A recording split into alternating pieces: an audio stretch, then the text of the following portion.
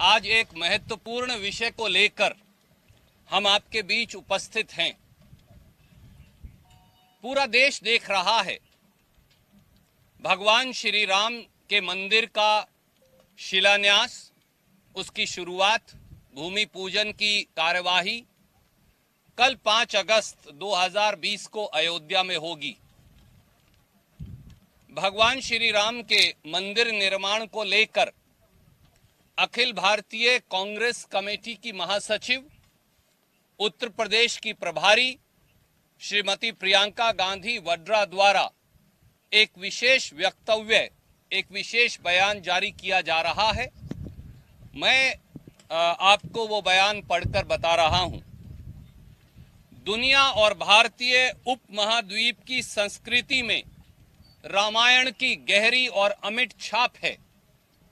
भगवान राम, माता सीता और रामायण की गाथा हज़ारों वर्षों से हमारे सांस्कृतिक और धार्मिक स्मृतियों में प्रकाश पुंज की तरह आलोकित है।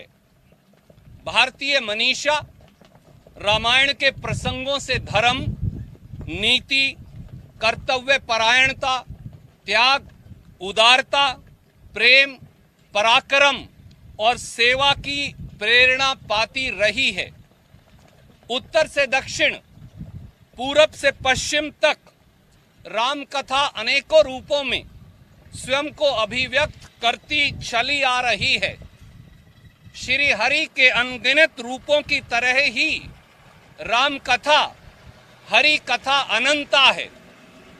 युग युगांतर से भगवान राम का चरित्र भारतीय भूभाग में मानवता को जोड़ने का सूत्र रहा है।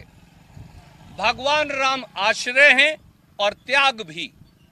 राम सबरी के भी हैं और सु, और सुग्रीव के भी। राम वाल्मीकि के भी हैं और भास के भी। राम कम्बन के भी हैं और यशु तच्छन के भी। राम कबीर के हैं तुलसीदास के हैं रैदास के हैं। सबके दाता राम हैं।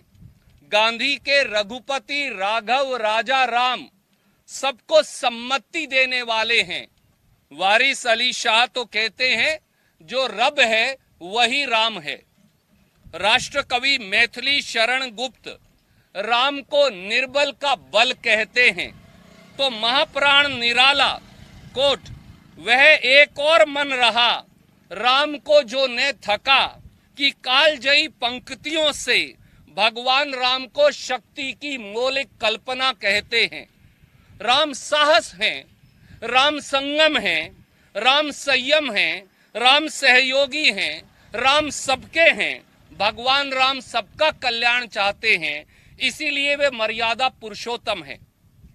आगे प्रियंका जी ने कहा, आगामी 5 अगस्त 2020 को रामलल्ला के मंदिर के भूमि पूजन का कार्यक्रम रखा गया है, यानी कल। भगवान राम की कृपा से यह कार्यक्रम उनके संदेश को प्रसारित करने वाला राष्ट्रीय एकता, बंधुत्व और सांस्कृतिक समागम का कार्यक्रम बने। जय सिया राम, प्रियंका गांधी, वड्रा।